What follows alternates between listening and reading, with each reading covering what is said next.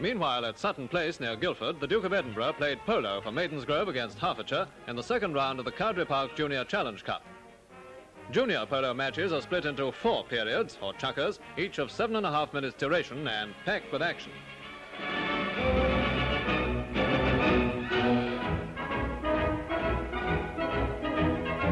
Here's the Duke going flat out for goal, while a determined interception by an opponent fails.